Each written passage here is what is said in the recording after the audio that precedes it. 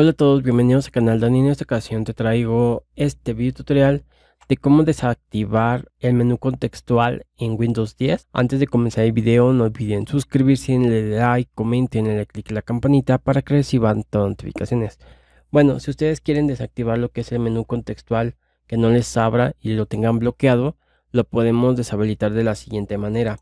Nos vamos a ejecutar con Windows más AR, ponemos gpedit.msc para abrir el director de directivas de grupo local. Luego nos vamos a la parte de configuración de usuario. Luego nos vamos a plantillas administrativas. Nos vamos a componentes de, componentes de Windows. Luego nos vamos a la parte de explorador de archivos. Y luego buscamos la siguiente directiva, que sería esta. Quitar el menú contextual predeterminado del explorador de archivos. Entonces le damos doble clic. Luego le damos en habilitado. Le damos a aplicar. Le damos a aceptar. Ahora vamos a verificar. Y damos clic derecho. Ya no nos deja este, utilizar el menú contextual.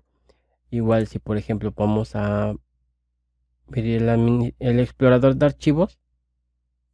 Vemos que tampoco me deja utilizar el menú contextual. Ok.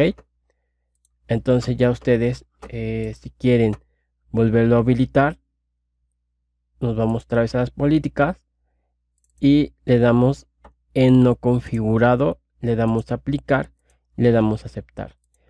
Y ya nos dejaría de nuevo utilizar el menú contextual. Y pues bueno, con esto termino este video. Espero te haya gustado.